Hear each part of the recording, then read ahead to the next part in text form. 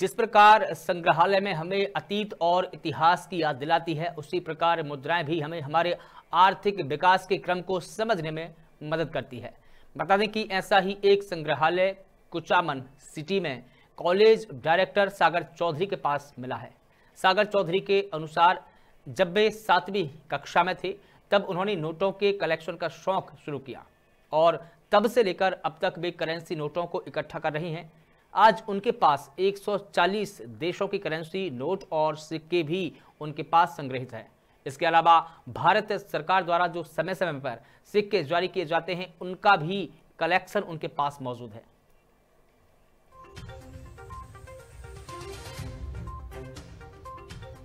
ये संग्रहालय है भारत की और विदेश की करेंसी कलेक्शन का। जिसमें नोट भी हैं और कॉइन्स भी हैं।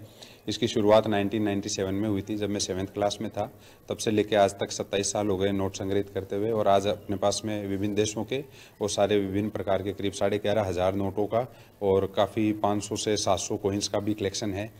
इसके पीछे का जो पर्पज़ है, वो भारतीय इतिहास या नोटों की जो विरासत है, उसको संभालना और आने वाली पीढ़ी को दिखाना है।